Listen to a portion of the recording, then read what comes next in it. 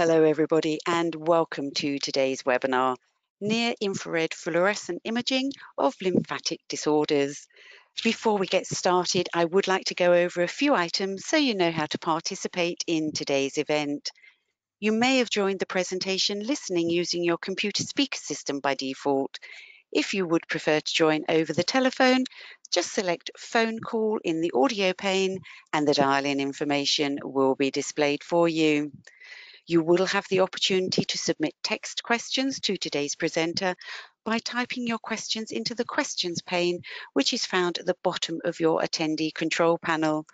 You can send your questions in at any time during the presentation and we'll collect them and address them during the Q&A session at the end of today's presentation.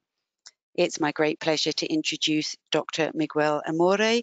Dr. Amore is the General and Vascular Surgeon second head of phlebology and lymphology unit, the cardiovascular surgery division of the Hospital Militar Central in Buenos Aires, Argentina, and is a staff physician at the unit of phlebology and lymphology, the Fundación Favaloro.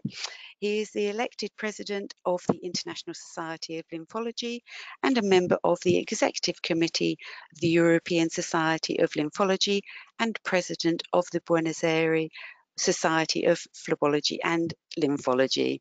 Dr. Amore, over to you. Hi, everybody, and thank you for this kind introduction. Uh, we are working at the military hospital with an, an alarm situation about the coronavirus, so uh, I will try to speak about the, the near infrared fluorescent imaging of the lymphatic disorders. Okay, we must start now. Just uh, uh,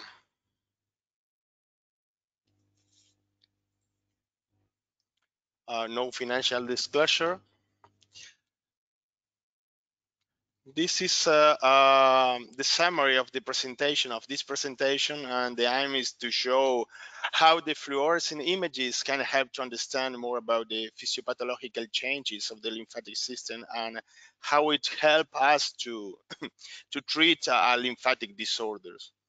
And uh, regarding the, the, the, evolution of the visualization methods, uh, you can see a picture here I don't know if you can see here uh, a picture of uh, on oil lymphography and these methods had long been the choice for imaging uh, the lymphatic system described, described by John Kinmonth in the 60s.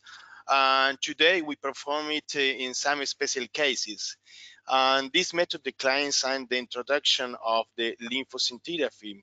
Uh, you can see here uh, a picture of a lymphoscintigraphy of 1975. Uh, a patient gave me some time ago and the evolution of this uh, the me this method, the lymphoscintigraphy, and uh, with the high resolution. You can see here the, the clinical picture and the correspondent of uh, lymphoscintigraphy in the, this case of primary lymphedema and you can see all of this uh, lymphography was made by Dr. Salenga here in another another hospital, hospital uh, Roffo Hospital, if an oncology hospital. And you can see here in primary lymphedema, you can appreciate the, the dermal backflow here and the lymph node at the level of the knee uh, of the knee. And uh, this is the, the clinical picture of chylous reflux with the primary lymphedema. And you can see the dermal backflow and the connection with the high resolution of this type of lymphoscintigraphy today, uh, the connection with the with the instancing too. Uh, it's another case of uh, uh, primary lymphedema too with the, the correspondent of the lymphoscintigraphy uh, with evolution, the, the lymphoscintigraphy, the lymphoscintigraphy can combine actually with the SPECT-CT. This is a courtesy of Dr. Sarlenga too. And this is an example of the melanoma of the skin here. And you can see two sentinel nodes uh, here in the axilla and in the groin. And when you combine with the, with the SPECT-CT, can observe, uh, can observe the retroperitoneal node too it's so interesting. And actually, we can uh, uh, perform MR lymphography without, with or without contrast too. Um, with the advancement of the science, uh, the development of the near infrared images, uh, actually we can find some device using this technology to see vein and lymphatic. As you can see here, the example to see the superficial vein, the corresponding anatomy specimen. You can see the superficial vein too. And with the use of near infrared vein finder, you can find this this type of, of images. It's so interesting. It's the same with the lymphatic system. It's an anatomical specimen. And when you add the near infrared fluorescent images, you can see in vivo this type of images. It's so, so interesting. All methods are, are complementary and we decide, we decide uh, um, which we choose depending on what we need to evaluate. It's important because it's, it's important to remark that all methods are complementary. And the ICG um, the ICG uh, lymphography, it's it's very interesting and it's in real time with that radiation. And we can make uh, we can make it at the office in a few minutes. And for for me, it's a, it's only a personal a personal uh, concept made a revolution. Uh, we can uh, we can detect early changes of the lymphatic vessel after a damage. Uh, you can see here uh, an scar here and scar after stripping of the great saphenous vein uh, for myocardial revas revascularization um, and of course the secondary lymphedema. And what happened uh, with the what happened with the lymphatic system instead uh, of a linear pattern we can appreciate the dermal backflow the dermal lymphatic as a dermal backflow and the stop at the level of the scar. As you can see here the dermal backflow um, the other things to remark about this method is to do it uh, is to do it only by physiological condition. That means with a high pressure is, uh, of the tissue, the dye the dye can move. Uh, we must reduce the edema at first. Uh, this is an example of a lymphedema of the hand, and you can see the stagnant of the dye. Um,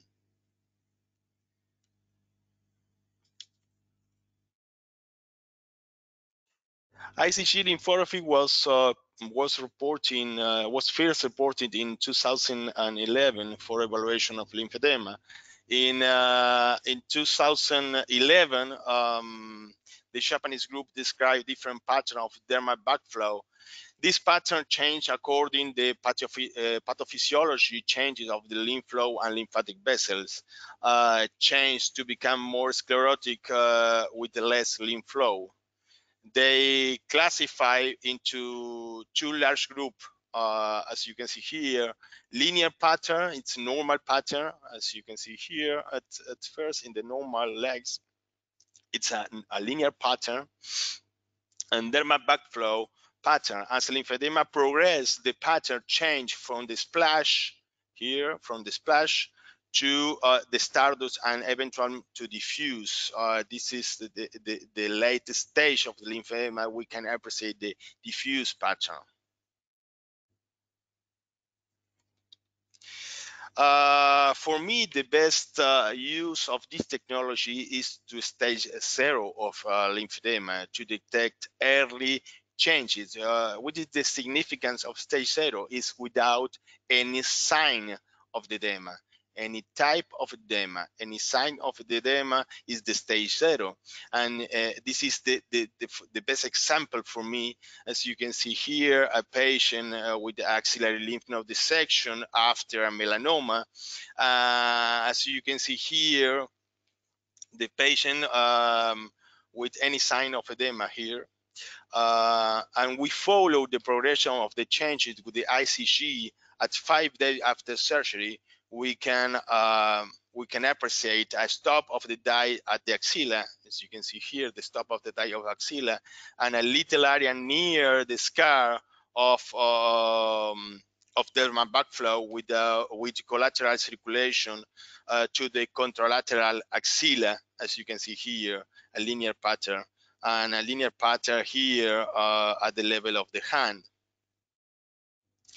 After uh, 30 days uh, after surgery, we observe a linear pattern, uh, but inside, as you can see here in this picture, and um, inside the vessel, we can appreciate more fluorescent um, in separate points. As you can see, different points here uh, with more uh, fluorescent, more luminescent uh, area um, in separate points and it's an accumulation of the dye. This is an indirect sign of the disturbance of the lymphangial And, um,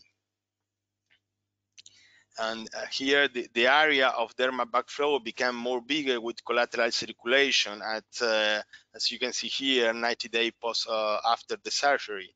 And more bigger and more collateral circulation too. Um,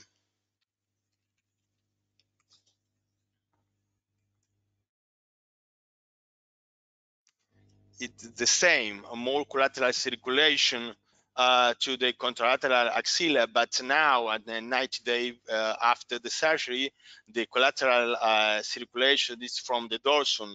Uh, and for that reason, we can stimulate the derivative pathway using this type of method, the taping uh, it's it's so interesting because we can we can test with the fluorescent images the the useful of the this type of method the taping. It's a complementary uh, method to the rehabilitation of the patient with lymphedema.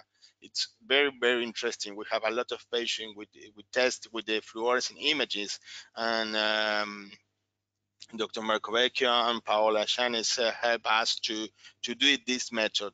They, they work with uh, Kenzo Kase, the pioneer of the technique. And this is uh, another technique, uh, another another patient uh, with the stage zero without any any sign of edema uh, in this young lady with uh, breast cancer and axillary lymph node dissection.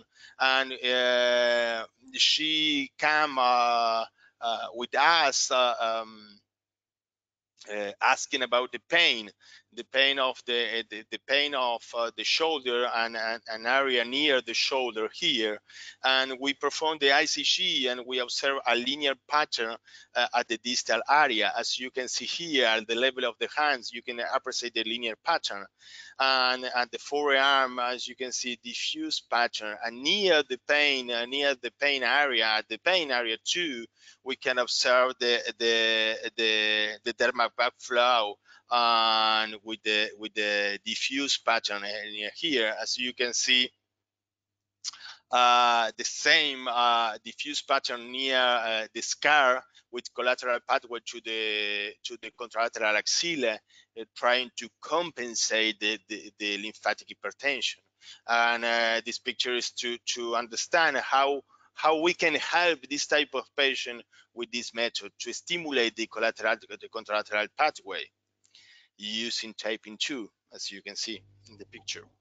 And uh, uh, this is an advanced, advanced stage stage 2 of the international society of lymphology classification of, of lymphedema, the peripheral lymphedema, and you can uh, you can see a diffuse pattern as, at the at the level of the at the hands with the the um, with the stardust patch and the, and the uh, at the level of the arm, and uh, with uh, with um, interbreast derivative derivative pathway.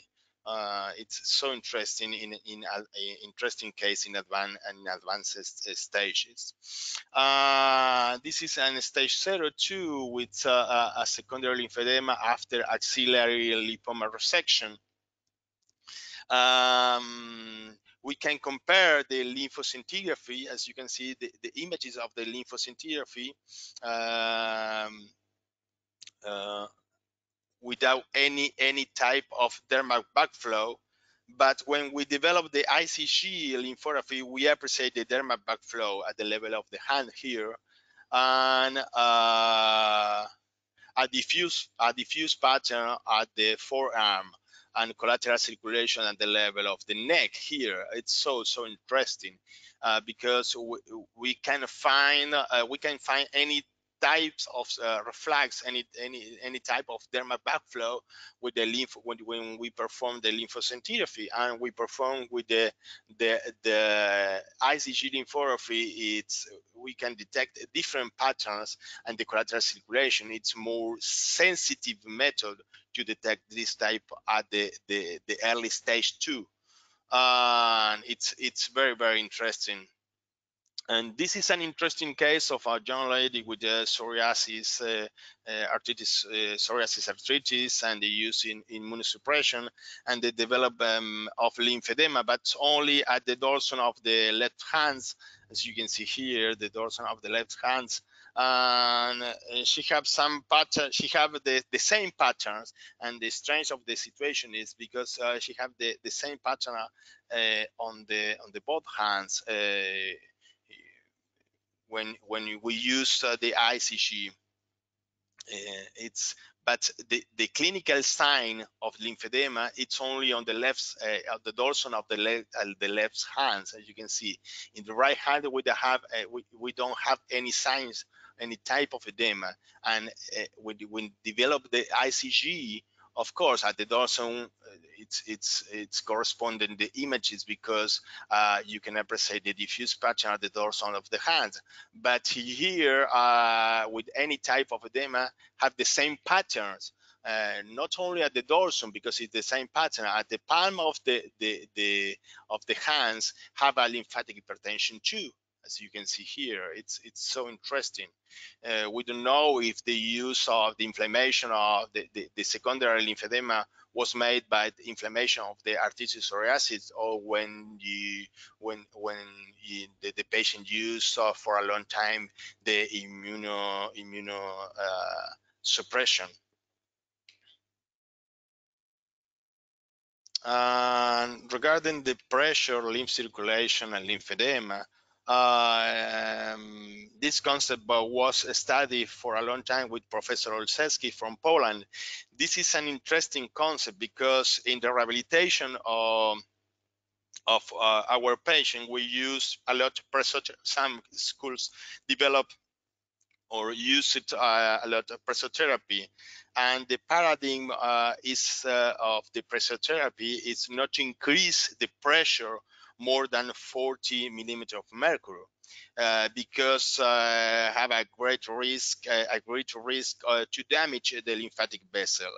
And um, we test this patient with secondary lymphedema with fibrosis of the tissue uh, using a blood pressure cuff and we test the pressure to move the flow um, and with 40 millimeter of, uh, of uh, mercury we uh, we can't can't move anything.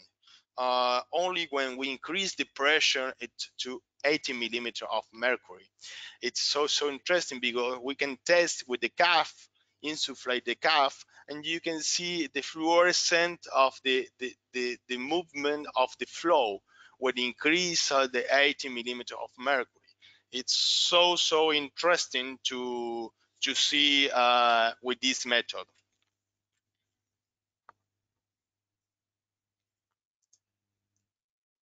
And what happened uh, um, how we can use the fluorescent images in in a lymphatic malformation in case of lymphatic malformation uh, this is interesting uh, interesting patient because we use the fluorescent images um, in, in case of intrapelvic lymphangioma. And we can combine uh, the images of the lymphoscintigraphy and of course, you can uh, uh, you can see the lymphoscintigraphy. This is the patient with the intrapelvic, and you can see here the draw picture uh, with the the intrapelvic lymphangioma, and and can uh, uh, can move to the to the level of the groin. Um, as you can see, we, we can compare the images of the lymphoscintigraphy. As you can see, the lymphoscintigraphy can detect uh, the, the, the lymphangioma in near the groin. And of course, not, not in the pelvic too. And when we perform, when, when here we drain the, the, the, the lymphangioma at the level of the groin. And when we perform, as you can compare here, the lymphoscintigraphy, and when we perform the uh, ICG lymphography, we can detect it, the, the, the lymphangioma at the level of the groin. It's so, so interesting. Of course, the intrapelvic, it's, we can detect it because it's so deep, but uh, the superficial area at the groin, uh, we can detect it to two type of cysts with the connection as you can see at the arrow here the green arrow here and the, the, the patient we can draw the uh, the, the lymphangioma at the level of the groin. Um, we can we can perform and, and uh, cyst, cyst venous surgery too, but it's it's not the topic of the presentation. But we can help us to identify the the type of the uh, the lymphatic malformation. This is uh, another another case on lymphangiomatosis. Uh, it's so interesting, uh, the soft tissue here at the dorsum and the anterior part too. And we inject uh, uh, in one of the more biggest cysts here, as you can see in, in this slide. And we inject two in a little vesicle. Uh, we perform with uh, Fernando or Fernando Deep. Uh, he helped us to to develop the, the technique and uh, here you can withdraw the the, the malformation uh, in the skin. As you can see here the big cyst and the connection to the axilla and the connection to the groin. It's so so interesting and help us to develop the surgery to resect uh, the big cyst here. And you can see with fluorescent images the connection uh, the big cyst here and the connection between the axilla and the groin. As you can see here the anterior anterior part of the connection with the, this type of malformation. Um, just a minute Uh, in case of uh, another type of, of malformation, the Klippel-Trenaunay syndrome, um, it's a combined malformation, uh, um, venous malformation, a capillary malformation, and lymphatic malformation. Um, uh, with the use of uh, with the use of ICG, we can observe the the commitment of the lymphatic system. As you can see here, the the the, the patient with the um, um, hemorrhage uh, lymphangiectasia, and we can detect the lymphangiectasia with the ICG here at this level. It's, it's so interesting to know more about the, the commitment of the lymphatic system in this type of malformation, a combined malformation.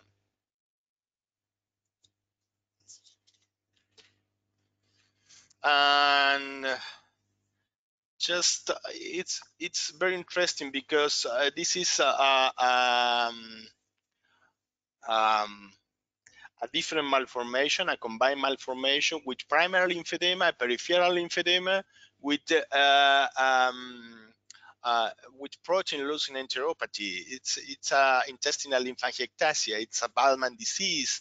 Uh, in some cases, combined with primary Waldmann disease, was described by Waldmann in 1962 see the lymphedema of this young lady uh, who developed the disease at the age of 20, 25 years old. Um, and you can see the peripheral lymphedema with uh, we developed the capsule endoscopy and you can see the lymphangiectasia here. It's so so interesting. And uh, how the fluorescent images can help in the diagnosis and therapeutic of this type of patient. And we develop with uh, um, with the unit of uh, gastroenterology of this hospital uh, with the stomach injection of the ICG with the, uh, at the preoperative endoscopy and we add ICG with cream uh, and the, the, the, patient eats uh, uh, 12, uh, uh 12 hour um, before the, the, the, surgery at the preoperative by oral, of, of, course, the patient eats, they mix it with cream, uh, with the ICG. And intraoperative, we use a, a nasogastric tube to infuse the, uh, the ICG with cream too. And we use uh, fluorescent guide laparoscopic surgery and it's interesting to know more about this type of images. As you can see here the the the just a moment uh, uh, lymphangitis is an obstruction of the lymph vessel at the intestine. As you can see the superficial uh, lymphatic vessel are uh, obstructed an inflammation obstruction and lymphangiectasia. It's a, a um, a lipid material inside the, the lymphatic vessel and become the obstruction of this type of vessel. It's interesting because we, we add fluorescent and the dye can, ins, can enter inside the vessel because have a obstruction, a thrombosis with a lipid material. It's also interesting, as you can see here, the chylous and we, we perform the fluorescent images. As you can see, the chylous here, the chylous leaks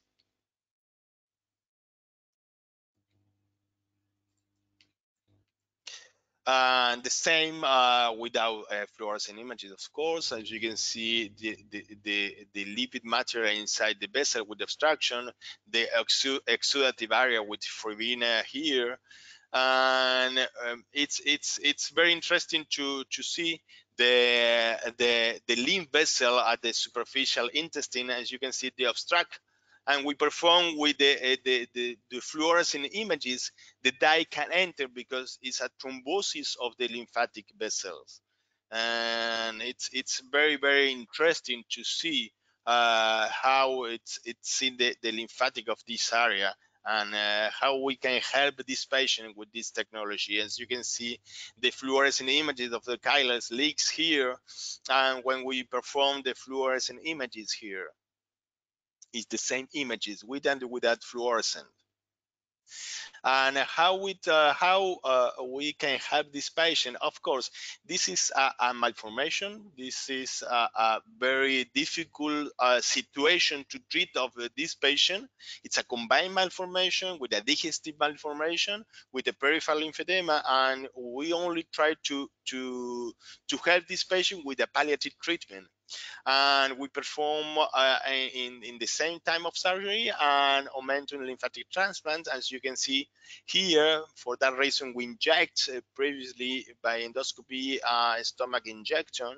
And you can see here the the the, the uh, uh a little piece of the omentum to transplant as with microsurgery we perform the transplant to the both sides of course, uh, and you can see the patient after and before. Of course, the patient continue with the the the the, the treatment uh, because it's a, a, malformation too, and we don't correct the malformation just only to to help uh, with the the dietary treatment uh, to reduce the, the, the chylous leak. And we help us, uh, we help the, the patient uh, uh, with the with the, the treatment of peripheral lymphedema. The patient continue with the physical treatment, of course, and and, and non-elastic uh, garment too, as you, you can see here. This is uh, uh, one of the last cases uh, of chylous, uh, lymph chylous leak after nephrectomy. It's it's very interesting patient because uh, he he came with us asking about the, the, the how to interrupt the, the, the leaks of chyle, and we perform here, as you can see. Um, we can uh, we we perform a percutaneous lymphography by ultrasound. We detect the, the lymph node here, and we inject a lipiodol here, lipiodol here, and uh, it's an oil lymphography. We at at at the uh, as as uh, I comment at the beginning, uh, we develop the oil lymphography in special cases, in select cases. For that reason, as you can see here, we perform this type of uh, percutaneous lymphography. We detect the lymph node by ultrasound, and we inject percutaneous uh, needle inside the, the lymph node and we inject a lipiodol and we get this, this type of images. As you can see the stop here, the, the dye continue with the lymph vessel and retroperitoneal lymph vessel here and the stop here. And the leaks are at the cavity. As you can see, the dye inside the cavity. It's a free inside the cavity. And uh, we detect the level of the, the, the leaks here. And um, we perform this type of, of, of procedure. We combine the fluorescent images and like the same patient, we combine the, the, the ICG uh, with cream, uh, mix it with cream uh, and uh, use the nasogastric tube uh, intraoperative.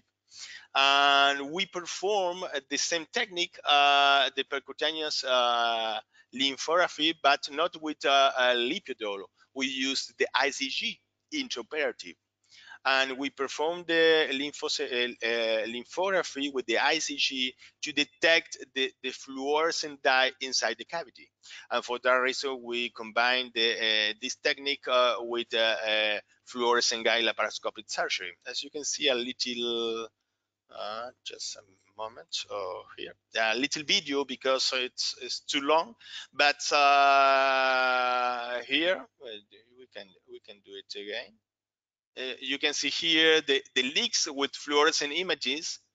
Here um, is to to to remember the anatomy at the level of the the the leaks. It's it's in here. It's anatomy specimen of the thoracic duct. As you can see the two lum lumbar trunk and the level uh, the, the, the dye enter because the the lumbar trunk uh, trunks come uh, um, follow the, the, the flow of the lymph um, node at the ground and we inject the ICG at the ground level and the, the dye come from here and combined with the, the trunk, uh, gastrointestinal trunk at the retroperitoneal area. And this is the level of the leaks near here. And just to remember the anatomy. Uh, Okay, as you can see here, with and without fluorescent images, the lymphatic vessel here, with we detect the, the, the leaks of the lymph vessel of the leaks uh, with the fluorescent. As you can see, the same color, it's impossible to detect uh, the lymph vessel without fluorescence. It's so, so interesting because uh, we clip this uh, when they stop the leakage immediately of the, the, the surgery, after surgery. Just to final uh, take a home message, uh, near-infrared fluorescent uh, is useful to understand early physiopathological changes of the lymphatic system after a primary or secondary damage. Um, the early lymphatic disease is treated, uh, the more that can be done to prevent its progression and, and near infrared fluorescent can detect chylous or, or, lymph leaks using an open surgery or laparoscopic surgery. It's depend of the anatomy concept. And finally, in some cases, the, the surgery can stabilize the lymph circulation as a palliative treatment. And I would like to thanks to to all people here. Fernando Dip uh, is my mentor in the, the ICG technology, uh, technology, the fluorescent imaging. Raul Rosenthal from Cleveland Clinic 2, Sandra Jerez of the military, the team of the of my unit in the hospital, uh, Dr. Bengoa, Marco Vecchio, Castro Salvia, Paola Giannis, uh, uh, Florencia Secchi, Oscar Gural from Favaloro Foundation, my, my other place to, of work. And uh, the other of my mentors, uh, Professor Papendieck, uh, and Maria Gomez, uh, the assistant of Angio, Angiopedia Foundation. Thank you very much. And I think that we must move to question and answer. Thank you so much for a wonderful presentation. And we have got lots of questions in. Um, our first question that we have today. Um, a question is saying, could you comment on where and how much ICG you need to inject to visualize the thoracic duct? Yes, it's it's depends, uh, but uh, usually uh, to see the the the, the thoracic duct uh, maybe um, just it's it's depend the, the type of, of, of problem or malformation or the damage of the lymphatic system. If uh, if we perform by in every web space we use usually we use 0.5 milliliter of ICG in, in every web space. And if we perform uh, intranodal lymph lymphography with the ICG, um, it's depend, but usually in with the same uh, with the double of doses of uh, that we use in, at the level of the the feet. Uh, um, uh, usually in five to 10 minutes, we can observe the fluorescent images uh, at the level of the thoracic duct. Thank you very much. And another question here. Could you please comment on the use of the lymphatic venous by bypass in severe in severe lymphedema in a severely obese subject? Uh, it's the question. It's about the the, the surgery, the uh, lymphatic venous anastomosis. Yes, correct. Yes, I, I, try to don't uh, explain more about that because uh, uh, Professor Masià from Barcelona um, have a, a, a, uh, the concept of the the, the use of uh, fluorescent imaging in, in the surgery but usually we can it's it's so it's so interesting to see uh, inside the surgery and we use a lot of the, the, the, fluorescent imaging to detect the superficial lymphatic. And to know more about the, the this type of uh, the, the, type of uh, physiology of this type of vessel to to to detect and to help us to develop the anastomosis. Because as i say at the beginning we can detect a different type of, of lymphatic vessel. It depends the progression of lymphedema of course for me the, the best and for all the best uh, um, uh, the best uh, uh, patient to develop the, the, the anastomosis is in the early in, in, the early stages.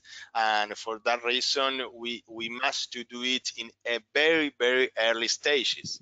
In some center around the world uh, around the around the world uh, like in Italy the the the the, the unit of Dr. Campisi and Dr. Boccardo developed uh, inside the, uh, the, the surgery after lymphadenectomy, and it, it's so interesting to use it uh, in in early stages of lymphedema, and we can see the the, the pattern of the uh, of the the patency of the of the lymphatic venous anastomosis.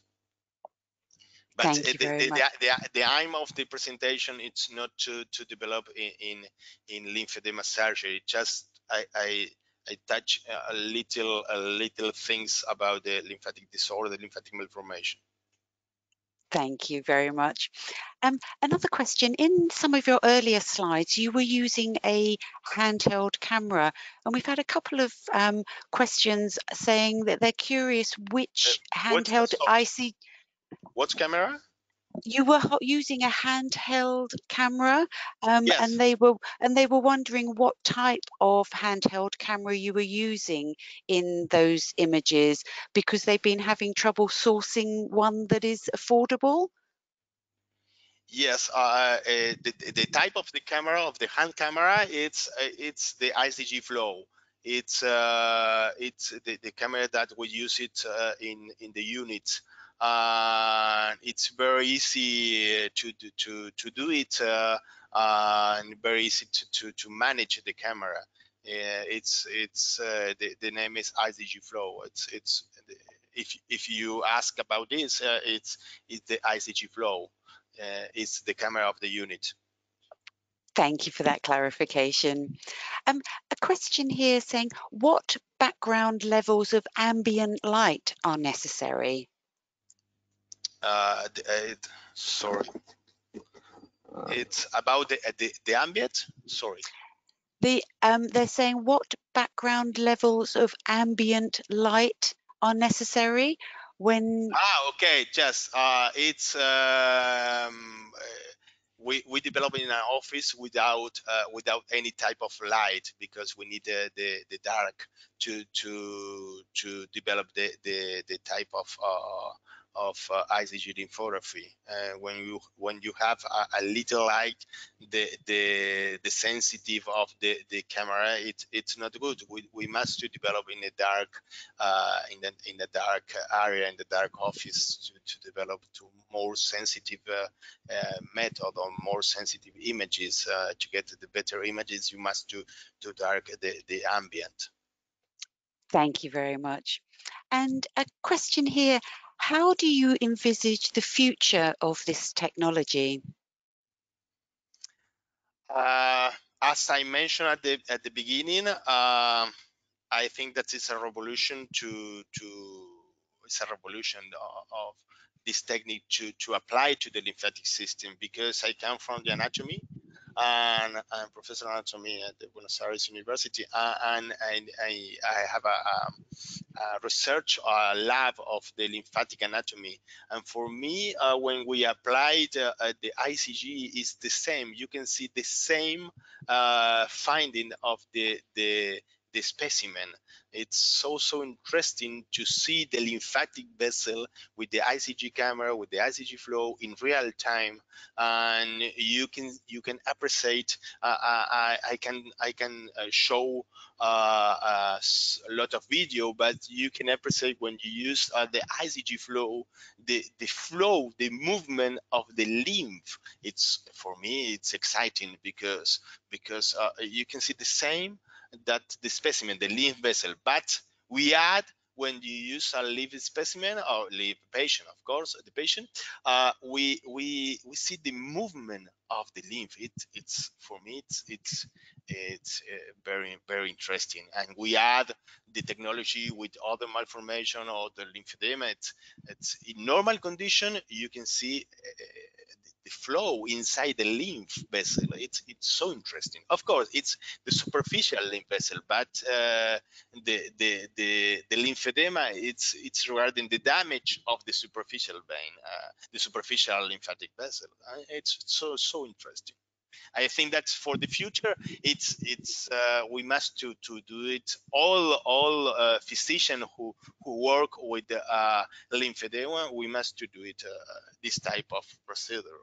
I think that it's it's the best.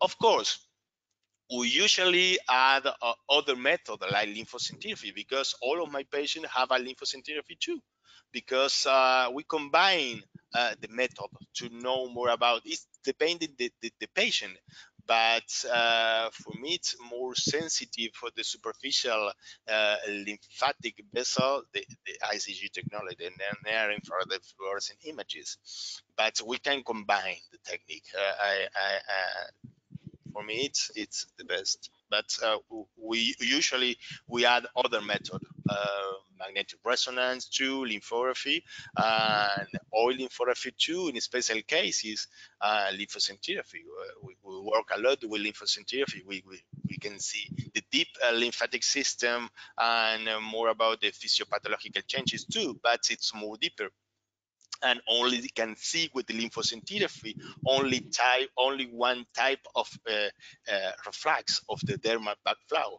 And, uh, and when we use uh, the ICG the near infrared fluorescent images you can represent different type of, uh, of dermal backflow.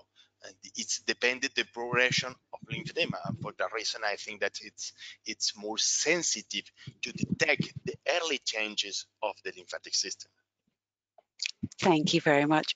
And we've had a couple of questions in about the um, presentation. We are recording today's session and that will be shared with all of our attendants after the webinar. And being conscious of time, um, we have got lots of questions that we haven't had time to get to, but we'll just take one more question here. Um, we have a question here from um, a surgical oncologist in the um, Panama Republic and they're asking how could they implement the technology in their country? Uh, uh, it's just we work uh, for a long time uh, trying to develop uh, inside our, our, hospital. Uh, we, as I mentioned, Fernando Fernando Dip, uh, who now is the president of, of the fluorescent guide surgery society and help us to develop the, the technique to develop the, the ICG lymphography.